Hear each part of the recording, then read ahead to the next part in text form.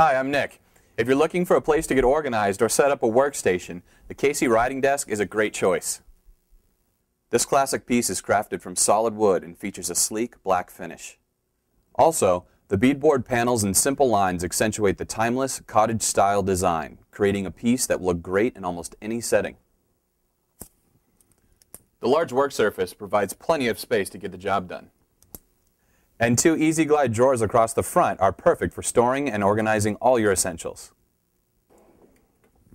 Thanks for taking the time to learn more about the Casey Writing Desk.